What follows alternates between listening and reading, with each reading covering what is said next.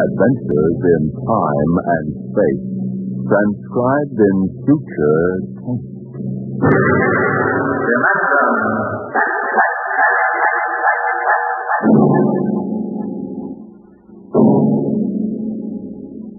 The National Broadcasting Company, in cooperation with Street and Smith, publishers of astounding science fiction, bring you Dimension X. The civilization of the galaxy spread across 200 million worlds. The black void of space swarmed with the ships of the Empire. But far off the trade route, almost forgotten, lay the dying planet Earth, a backwater in galactic culture, a place of exile, a pebble in the sky.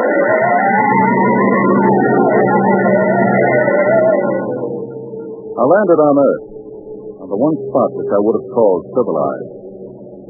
Patch along the desolate heights of the Himalayas, surrounded the palace of the imperial governor of Earth. Hmm. Dr. Bel Arvardan of Sirius Sector. That's a familiar name.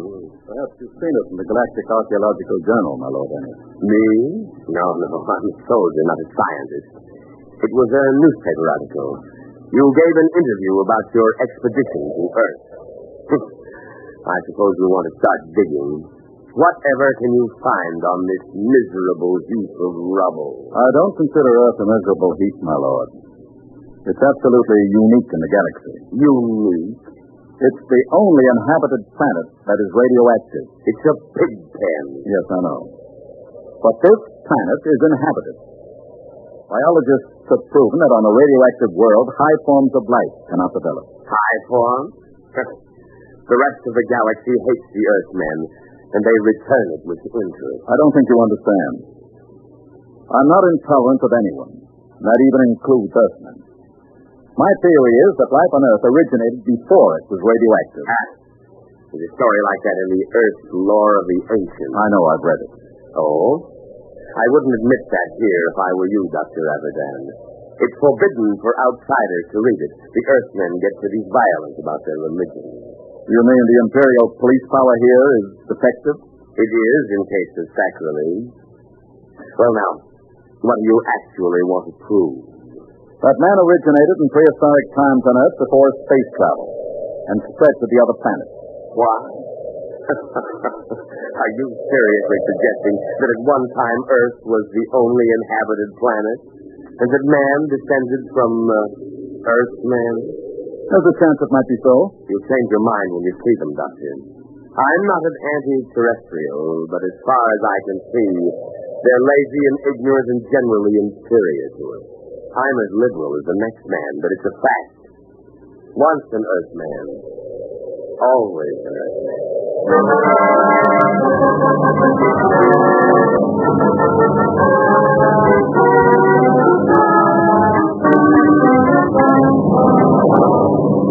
I booked passage to the city of Sika on an Earth line.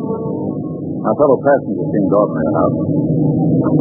But I was conscious of being alone among Earthmen. I beg your pardon. Uh, could you tell me what's going on there? sure.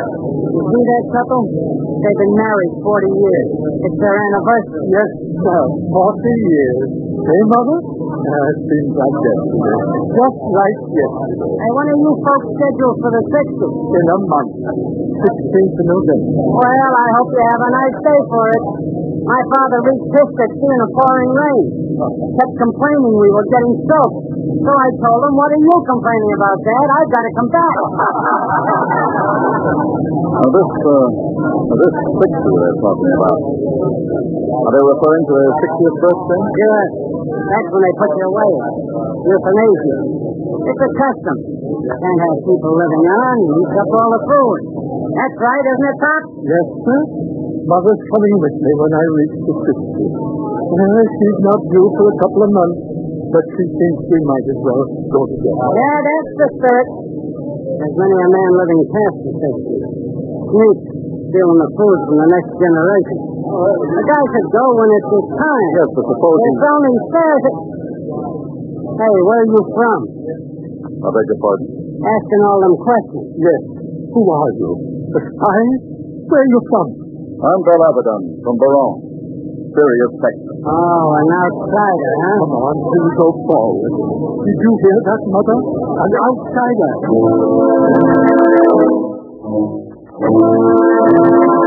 I'm burned with indignation. Earthman treating me like an outcast. Earthman. When we landed, I followed my intention of observing the human animal substitution Earth in its native habitat. In this case, a large department. Perhaps I resembled a floor walker, for a young Earth girl came up to me and asked a question. Pardon me. It's my father. He's about five four. He wears eyelenses. I'll see you have a brown coat. I'm afraid I don't remember seeing anyone. Followed me. He asked Dr. Steinberg. Are you in trouble, miss? No. Uh, no, it's nothing really. I- I'm sorry about it. Attention. Attention, please. What's that? All patrons of the store will kindly leave by the Fifth Street exit. This store is being evacuated for radiation fever quarantine. What's all this about? They're after me. It was a really radiation fever thing. Who's after you? How am I going to get out of here? I'll be sticking registration cards at the door. Haven't you got one? Wolf could have read my name on it. I, I don't know what to do. Come on. But you don't even know me. I don't know anybody here. You're an interesting species. Person. This way. Carry on, sir. Come on. Step along. Next. Next. Wait a minute. Forward check. Yes, sir. Stand right there. Look here, officer. Are you with us? Yes, but you'd better find out who I am. Later. Stand over there. Next. Come on. What is it now? He's hearing. Are you afraid of them? Come Don't worry about the outsiders, Miss Shekt. I'll handle them. No, oh, don't try anything. Don't talk to them at all. Just do what they say. Don't even look at them. We'll see. Here they are. All right, now. You, guard. Jeffrey? I'm Lieutenant Claudy, Imperial Garrison. Speak up. It's a please, Your Honor. So close, idiot. You might be mistaken. I'll take over. You, Worthy. What's your name? Speak up, squaw. Pola Sexton. The registration papers? Here you are, sir. Thank you. All right, now. Pick them up. Go on. Say, look here now. What did you say, Elsie? If you please, sir. This man has nothing to do with me. I never saw him before. What did you say? I don't like the way you treat women. And I'd advise you to improve your manners. And where have you been brought up, Elsie? Here's lesson number one. Why, you... I am. Let's go. No, you. Pocket, Ironic whip. Oh, no, no.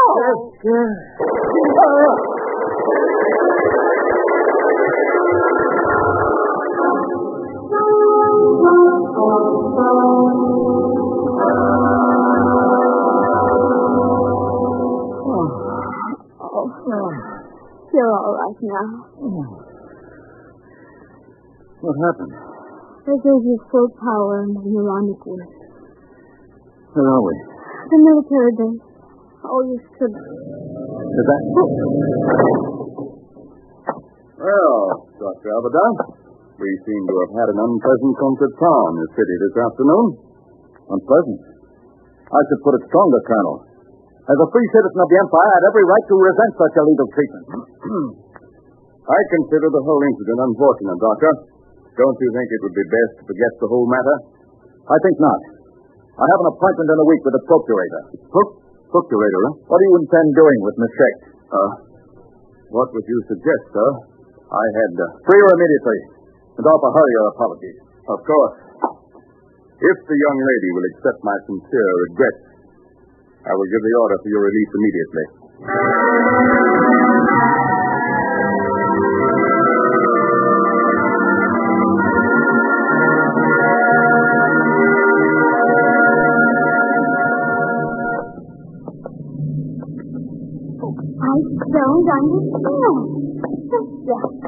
Loose. Of course. It must be very important. I never heard of the outsiders being that polite to an Earthman before. I'm not an Earthman, Pola. What? I'm an archaeologist from the outside. Oh. Well, then you stood up to the soldiers because you knew it was safe all along. And I thought... Oh, I should have known. Hold on. Does my not being an Earthman make any difference in five minutes ago? You might have told me, sir. You don't mind. Don't call me, sir. Don't be like the rest of us. Like the rest of whom, sir? The rest of the disgusting animals that live on Earth? Please. If you'll excuse me, sir, I must leave. Now, wait. Pola. Listen to me. Pola.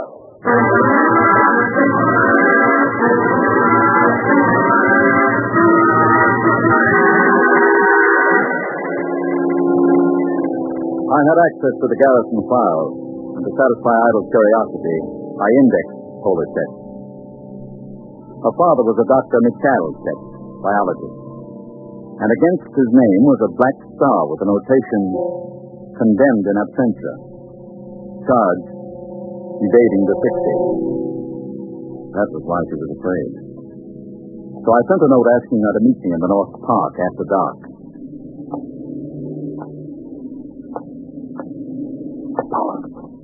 Over here. That again? Oh, I, I want to understand. I wouldn't have come. I understand. I've seen your father's record. You know about it. I looked into it, Paul. There doesn't seem to be much that can be done about the fixing. Oh, it isn't that. It's not for my father. But it's for the whole galaxy. What is it? Earth is going to revolt. no. All of it? Oh, don't laugh at Oh, the galaxy has a volume of several million cubic light years. It contains 200 million inhabited planets. Earth has a population of only 20 million. And no resources. What can Earth do? I don't know, Doctor, but my father does. He's told me that Earth knows a way by which it can wipe out all outside life and... Hmm? Someone coming. Park Patrol. Quick! Hmm? Don't be stupid. Trust me, they won't suspect anything. Oh, oh, yes, come on.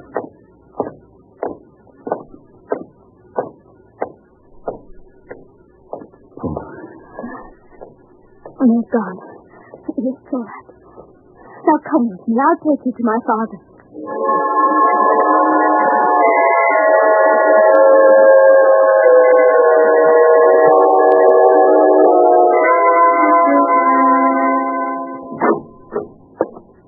Dr. Arvardan, this is a pleasure. I have read your articles in the journal. It is hard to get copy. Our neighbors don't care to trade with Earth. It's part of the nearly insoluble problem of anti-terrestrialism. no one seems to want a solution. Earthmen and outsiders alike? Oh, no, that is not true.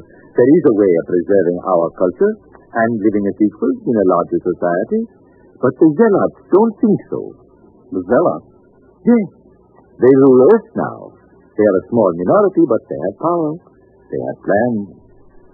They planned a revolt, told you? Yes. I see. Well, why didn't you report this to the Imperial Garrison? The Society of Earth Ancients have guarded me too well. Besides, they had a hold on me. I am 62. You know the customs of Earth. The 60 years. They allowed me to live on. The price was silence about the weapon. You agreed to this? I wanted to live.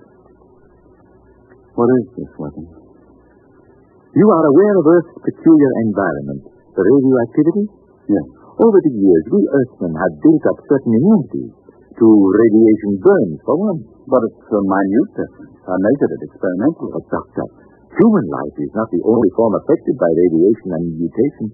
There is microscopic life, bacteria, viruses. They have been searching out such a virus, one to which Earthmen had developed a high degree of immunity, but not outsiders. You mean particular disease? Yes, common fever. It is a mild children's disease here, like chickenpox or German measles. But to outsiders, it is radiation fever. Symptoms develop in two hours. Lips are so badly affected that the victim cannot talk. And in two days, he dies. They've isolated this virus, Tons of it in crystalline form and they plan to let this loose in the galaxy? by means of guided missiles. Then, frightened refugees will carry the disease across space. Billions will die. You're sure about this? You have proof? I worked on the project. We've got to get to the procurator. I can catch the evening train at... Who is it? I don't know. Open up. There should have been an alarm. I've got to get out. Is there a back Open up there. Don't move. Hands in front of you. What's the meaning of this? I demand... Stand up. I'm a galactic citizen. You've got no right to detain me without legal authority. I am an Earthman, but I think you'll find I am all the authority needed at this moment, Dr. Abadan. I am Baltus, the High Minister of Earth. The High Minister. What are you doing? I always look after distinguished visitors personally. Abadan does not know anything. I doubt that, Dr. Shekt. We'll proceed now to the Hall of Correction. You can't do this. When the procurator... The procurator will hear nothing until it is too late. The guided missiles will be fired tonight at 12. God, if they make a false move.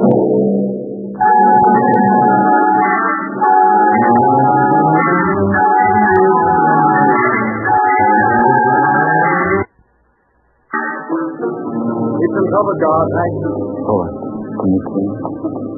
There, come down the street. Carry your patrol. Do what I say. Swing. All right, let's go through your patrol. All right, Erskine. What's going on here? Good morning, Sergeant. Sir? Earthy? You don't understand. I'm Baltus, the Lord High Minister of Earth. Listen, Earthy, I don't care who you are. What's going on?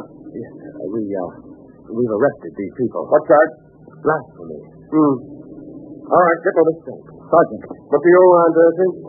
I'm a galactic citizen. I demand the right... You... May we proceed? Listen, Sergeant. I've something more to say to you. What? This. No Earthy is going to get away with this. Death squad cut. The Sergeant, I'm the Lord Minister. Uh, Tell him about it the Imperial Barracks. Now move, all of you. Before I give you a shot of the whip.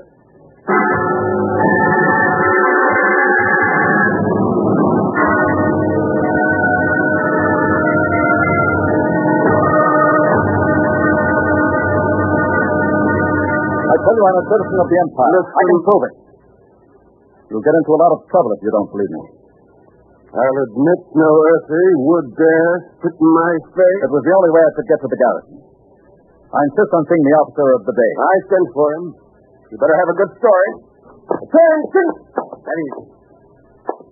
Which one of you claims he's a citizen of the Empire? I am. There's the one from the store.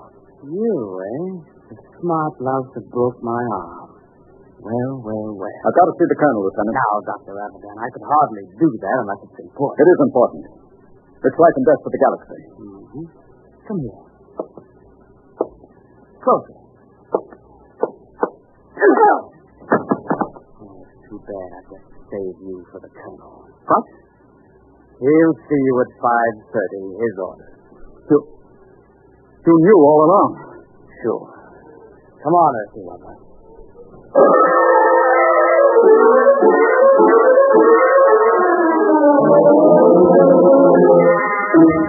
In very darn serious trouble, Dr. Abadan. The man you're accusing is the High Minister for Earth. I know, but I have proof. Well, I can only speak to the procurator. You've got to contact him. there are channels, Dr. Abadan. We haven't time for channels. I have the details of the plot from Dr. Shekt. You've got to let me speak to the procurator. I've already advised him of your arrest. He's flying in. You'd better be able to prove what you say. If you don't, we'll have to hand you back to the native authorities and their courts are notoriously savage.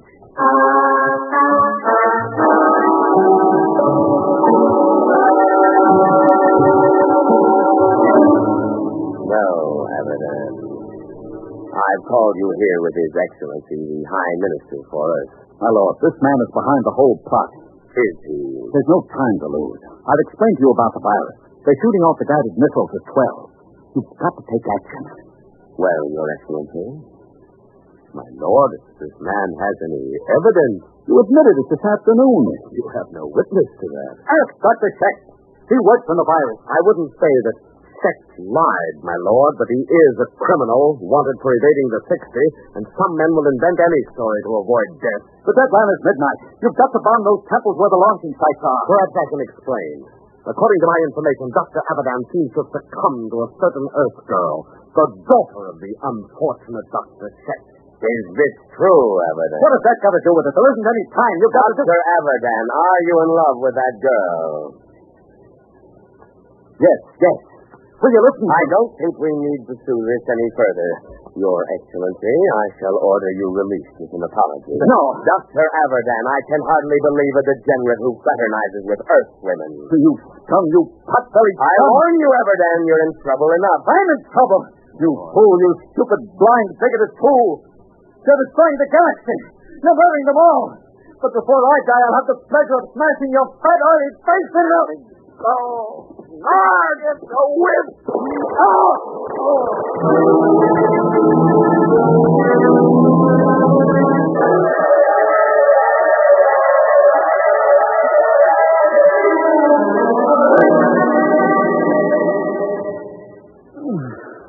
Bel, are you all right? Oh. What time is it? One thirty. Past the deadline. It's all over. Lord Ennius released the High Minister with an apology. Doesn't matter.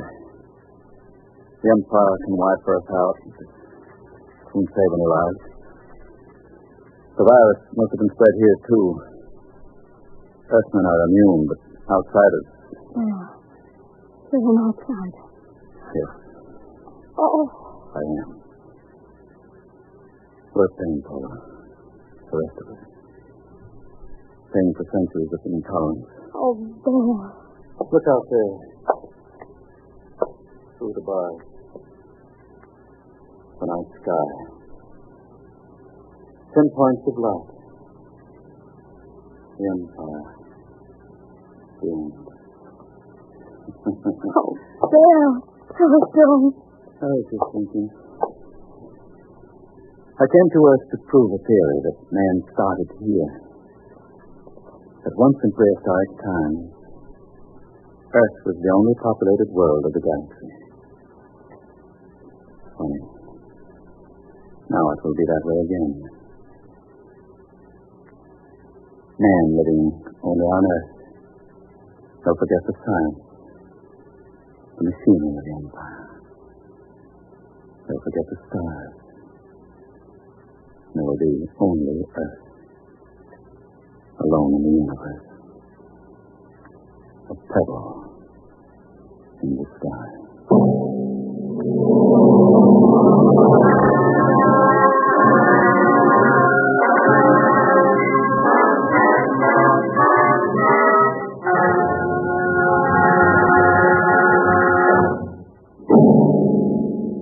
The children of tomorrow will play with toys. But what will those toys be like? An ordinary clerk in an ordinary job finds a terrifying answer to that question next week as Dimension X brings you Child's Play. Dimension X is transcribed each week by the National Broadcasting Company in cooperation with Street and Smith, publishers of the magazine Astounding Science Fiction. Today, Dimension X has presented Pebble in the Sky, dramatized for radio by Ernest Kinoy. Featured in the cast were Santos Ortega as Abaddon and Susan Douglas as Pola. Your host was Norman Rose, music by Bert Berman. Dimension X is produced by William Welch and directed by Edward King.